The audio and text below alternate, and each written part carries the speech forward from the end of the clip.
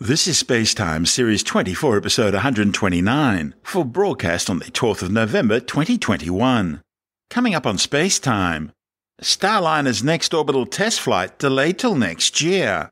China launches another top secret satellite as it continues its preparations for war. And South Korea launches its first domestically built orbital rocket. All that and more coming up on Spacetime. Welcome to Space Time with Stuart Gary.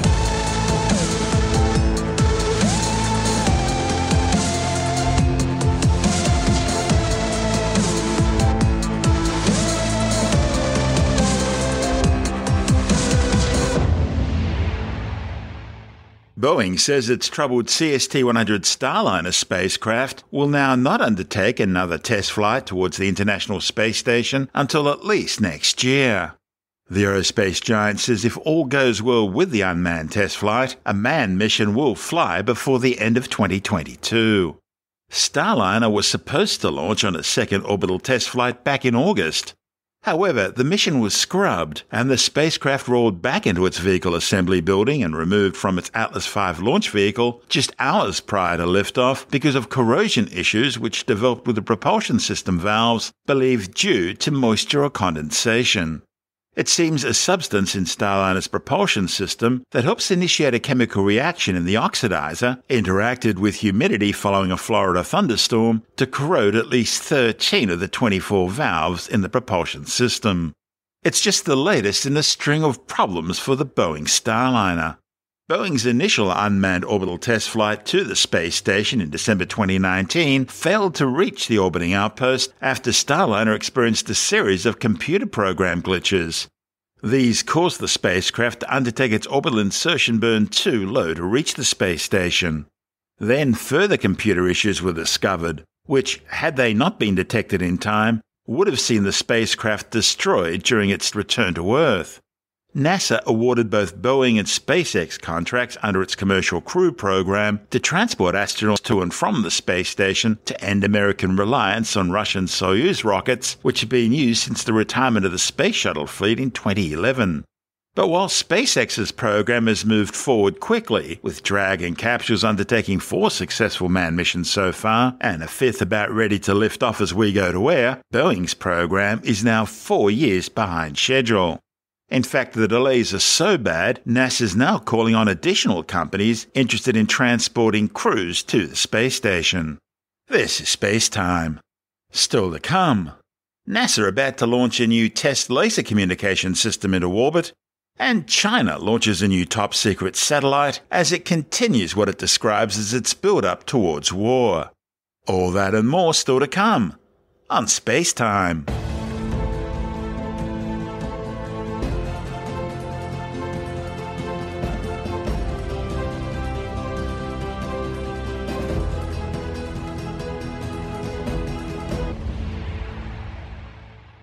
NASA are about to launch a new optical laser communication system into orbit. The Laser Communications Relay demonstration will fly aboard a United Launch Alliance Atlas V 551 rocket from Space Launch Complex 41 at the Cape Canaveral Space Force Station in Florida. The laser technology is part of the U.S. Department of Defense's Space Test Program Satellite 6, which will be placed into a geostationary orbit. The system's part of a revolution in new generation space technology, which is starting to make its presence felt in fields of space flight and astronomy. With the details, we're joined by Jonathan Nally, the editor of Australian Sky and Telescope magazine. G'day, Stuart. Well, in the November issue of Australian Sky and Telescope, we jump into our time machine and we take a look at some of the breakthroughs and innovations that we can expect in astronomy and space exploration in the coming decades. And so I'll just give you three that we cover. One of them is uh, satellites using laser beams instead of radios to transmit information to and from the ground or even between satellites in orbit. This is happening right now because laser beams can carry uh, a lot more information than radio can. So for certain purposes, they're, they're working out to be really, really good. But they're also going to be using these laser beams, uh, they think, for interplanetary communication. So if you send a space probe to Mars or somewhere, you might be able to use lasers instead of radio to send your signal back. There are couple of advantages to this. A little laser beam setup is likely going to be a lot lighter and smaller than a radio setup, so it won't be as much mass. So you won't have to, um, you know, you can, put something else on board instead of a big radio thing. you've got a little light laser. But also lasers, because of the wavelengths they work at, yeah, they can send more information than uh, a radio wave. A radio wave sends information slower. Uh, than, than, lasers. It all travels at the speed of light, but you can you can pack more information into light wavelength than you can into radio wavelengths. That's what I'm getting at there. So, um, so that that could be really, really good, and it means if you've got um, the ability to send more data, then you might be able to put bigger and better cameras and things or instruments on board the spacecraft. Because there's no point putting a super duper camera on board a, a spacecraft if you don't have the bandwidth to get the, de- uh, the data back. So having more bandwidth to get the data back means that you can put bigger and better instruments on board. So that's one of them. Uh, and on the topic of radio, uh, another thing that scientists have been talking about for years and years and years uh, looks like it might actually um, happen in the next decade or so, and that is sticking radio telescope systems on the far side of the moon. Now, the moon always faces has one face facing the Earth and one face facing away. It it rotates on its or, on its on its axis at the same time as it takes to go around the Earth. So it always has one face facing towards us, and one face facing away. So if you're on the side of the moon, the far side of the moon, looking away from the Earth, then you are you've got the, the bulk of the moon between you and the Earth. So you're protected from anything that's coming from the Earth. In this instance, interference from radio signals from the Earth. Because, you know, our TV signals, our radar signals, all, all those sorts of things are powerful enough to get out through the atmosphere and go out into space. So if you want to put a radio telescope out into space, uh, the best place to put it would be the far side of the moon because you've got the, the big bulky rock of the moon blocking any interference that's going to come along. So they're planning on robotic missions that will go out there and land on the far side of the moon and literally just little little wheeled rover things roll out these antenna systems and, and form a big radio telescope in, a, in the ultimate what they call radio quiet environment. You might know about the thing called the Square Kilometre Array, which is a big radio telescope network that's being half built in Western Australia and half built in southern Africa. They've picked some very, what they call radio quiet areas in both those locations where there aren't many sources of interference, and, and they're going to be fantastic. But even they can't sort of compete in, in terms of radio quietness with what we've got on the far side of the moon. So fingers crossed that might happen. And the other technology that's really interesting that might be coming along is um, going back to using lenses instead of big mirrors for space observatories. Now, mirrors, large mirrors are easier and they're far less expensive to make than large lenses, and they're, they're usually a lot lighter as well. So all of that comes into play when you're trying to launch something into space. You, you want something that's as light as possible, and uh, you know, don't want to make it too expensive. But there are new designs for lenses that they're working on, which means that they might be able to get very large size lenses instead of mirrors up there into space. And lenses do actually give you better better optics, no pun intended, better better better performance, put it that way, out of the optical system than you sometimes get with mirrors. So, um, in a nutshell, what it basically is, you know how I've ever seen a lighthouse uh, inside a lighthouse? They've got this big, funny lens in front of the light, and it focuses the light into a beam. Well, it's sort of like that's what they're thinking of, and instead of light going outwards from the thing, of course, light coming into the telescope and then being focused by this special lens system uh, onto the cameras and things that you would have on board the telescope. So um, fingers crossed that might work too, because lenses in space could be really, really good. That's Jonathan Nally, the editor of Australian Sky and Telescope magazine. And don't forget, if you're having trouble getting your copy of Australian Sky and Telescope magazine from your usual retailer because of the current lockdown and travel restrictions, you can always get a print or digital subscription and have the magazine delivered directly to your letterbox or inbox. Subscribing's easy. Just go to skyandtelescope.com.au. That's skyandtelescope.com.au, and you'll never be left in the dark again. This is Space Time. Still to come. China launches a new top secret satellite, and South Korea launches its first domestically built orbital rocket. All that and more still to come on Space Time.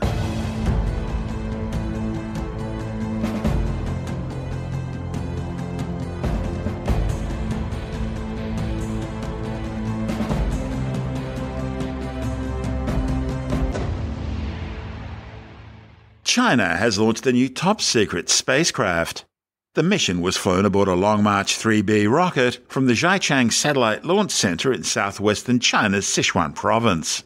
Beijing describes the new Shijian 21 as an experimental space debris mitigation mission. However, it's been placed into a geostationary transfer orbit where space junk isn't really a serious problem. The Pentagon says that suggests its real mission will be to approach and possibly even attempt to capture or disable another spacecraft in orbit. The US military says China's already launched at least one spacecraft able to approach and capture other satellites in geostationary orbit. The Shijian 17 satellite, which was launched in 2016, uses a robotic arm to grapple other spacecraft, allowing Beijing to capture them, disable them, or attach spyware on them. This is space time. Still to come. South Korea launches its first domestic orbital rocket, and later in the science report, a new study shows that dogs learn human words the same way people do. All that and more still to come on Space Time.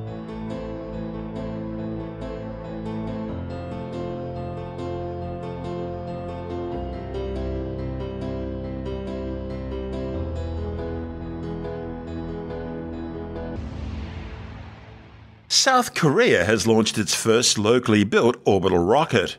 The flight was launched from the Naro Space Center on the southern coast of Goheung.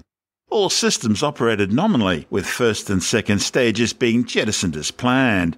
The third stage then ignited as planned, but shut down 46 seconds early, preventing the payload from achieving orbital velocity. Mission managers say they'll undertake another launch attempt in May. The South Korean Nuri follows on from the earlier KSLV-1 or Naro launch vehicle, which successfully placed the scientific research satellite into low Earth orbit on its third attempt in 2013. The Naro-1 used a modified Russian liquid-fueled Angara rocket for its first stage, with a Korean-built solid-fuel rocket for the second stage. The Nuri, or KSLV-2, uses four locally developed KRE-075SL liquid-fueled engines for its first stage, with a single KRE-075 vacuum engine for its second stage, and a KRE-007 engine for its third stage. This is Space Time.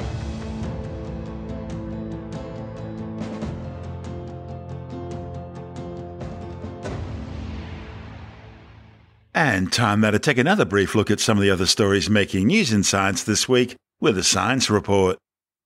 A new study warns that pets who become infected with COVID 19 are likely to end up with acute onset heart disease. The warnings are reported in the journal Veterinary Record.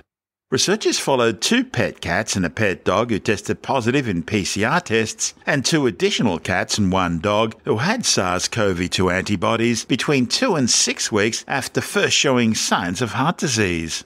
Worryingly, the heart issues that appeared included severe myocarditis, which is an inflammation of the heart muscles.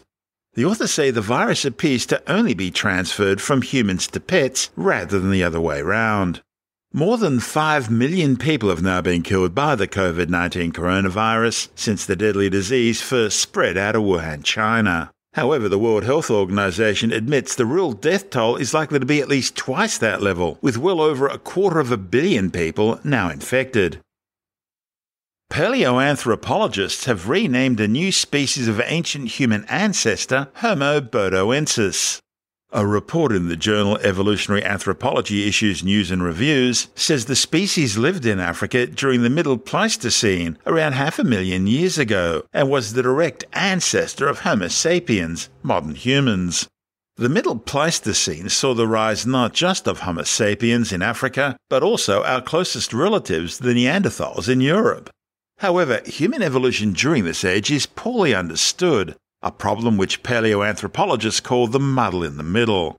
Homo bodoensis hopes to bring some clarity to this puzzling but important chapter in human evolution.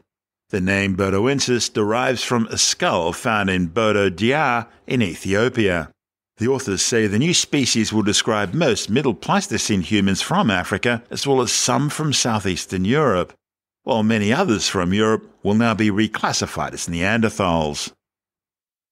A new study shows that dogs extract words from continuous speech using similar computations and brain regions as humans do. The findings, reported in the journal Current Biology, represents the first demonstration of a capability to use complex statistics to learn about word boundaries in non-human mammals. Human infants can spot new words in speech stream before they learn what those words mean.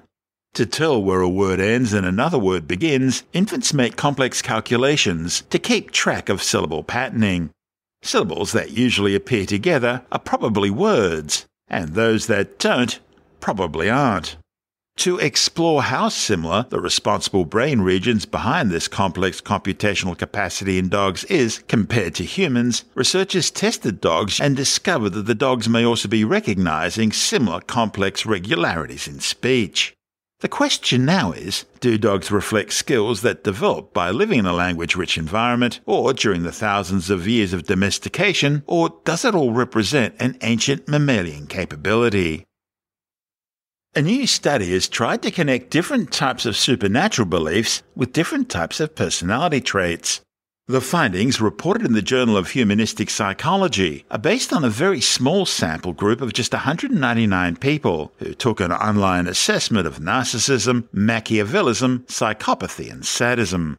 Tim Mendham from Australian Skeptic says while the study was far too small to draw any real conclusions, it was amusing, finding that those with higher levels of religious beliefs tended to have lower levels of psychopathy, but higher levels of sadism, which probably explains some of those long sermons.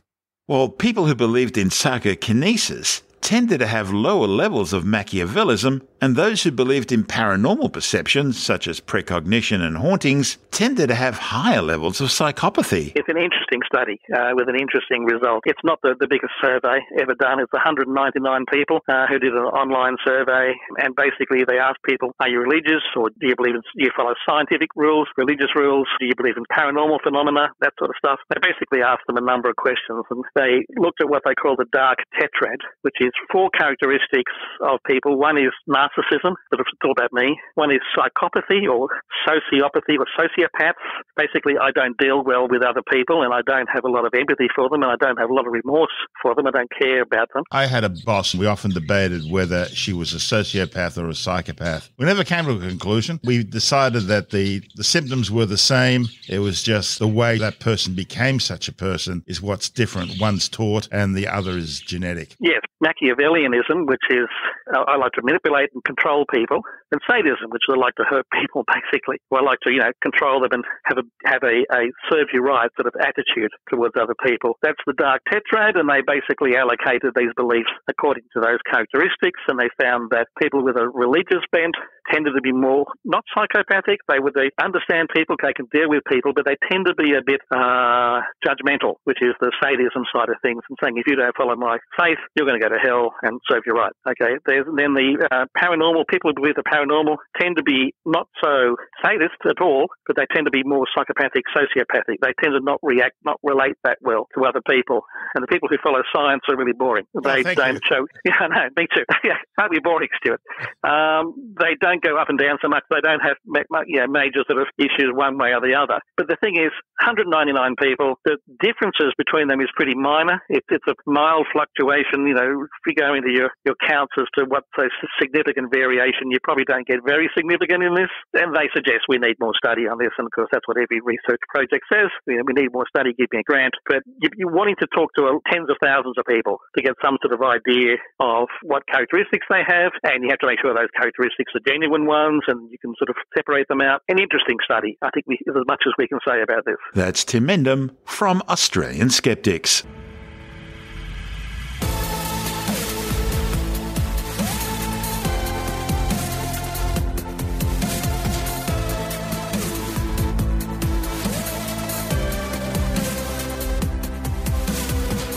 That's the show for now. Spacetime is available every Monday, Wednesday, and Friday through Apple Podcasts, iTunes, Stitcher, Google Podcast, Pocket Casts, Spotify, Acast, Amazon Music, Bitesz.com, SoundCloud, YouTube, your favorite podcast download provider, and from spacetimewithstuartgary.com.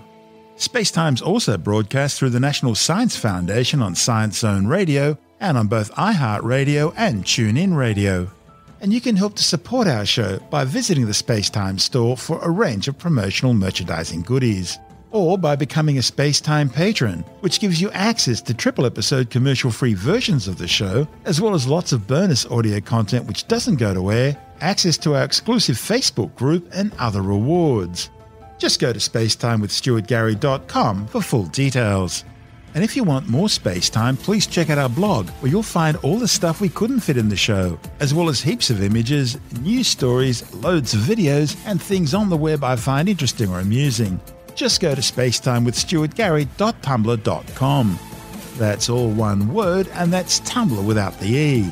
You can also follow us through at Stuart Gary on Twitter, at Spacetime with Stuart Gary on Instagram, through our Spacetime YouTube channel. And on Facebook, just go to facebook.com forward slash spacetime with Stuart Gary. And Spacetime is brought to you in collaboration with Australian Sky and Telescope magazine, your window on the universe. You've been listening to Spacetime with Stuart Gary. This has been another quality podcast production from Bitesz.com.